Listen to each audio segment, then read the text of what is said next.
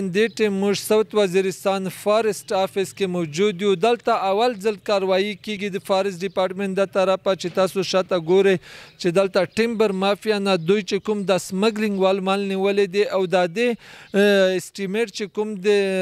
لګ بګ اکتیس بتیس لاک جوړیږی اوس دغه دلته محکمه فارسټ چې کوم دی په خپل آفس کې ایښودی دی.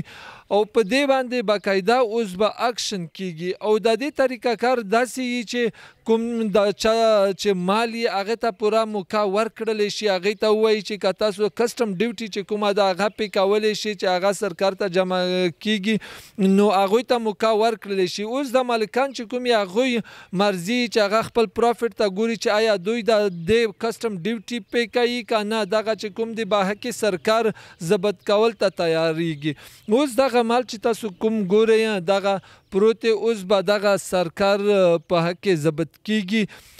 دخوشحالی خبره داده چی دغه کاروایی چی کله کیږي محکمه فارس چی کوم دی هغه په حرکت کی راځي نو دا زموږ غرونه به چی کوم دی دغه به محفوظ کړل شي اوس دلته سوت وزیرستان کی که نن موږ وګورو د واټر لیول چی کوم دی هغه بلکل ښکته روان دی ځکه چی دلته کوم سولرایزیشن شوی دی نو هغې د وجې نه اوورآل که موږ چې کوم دې ګلوبل وارمنګ ته اوګورو نو دغه علاقې افیکټ کیږي مخکې به چې کوم بارانونه کیدل هغه اوس نه کیږي ددې مین ریزن دغه دې چې دلته چې کوم دې لکه کټایی روانه وه او بیا دلته چې کوم دې د غرونو کې چې کوم ایروژن مسله هم ده نو هغه چې کوم زرخیز ځمکې یي هغه هم د ایروژن شکار کیږي نو محکمه جنګلات چې کوم دي هغه اوس په حرکت کې راغلي دي ټیمبر مافیا ته هم په کار دا دی چې لږ په دې علاقه باندې رحم وکړي دوی که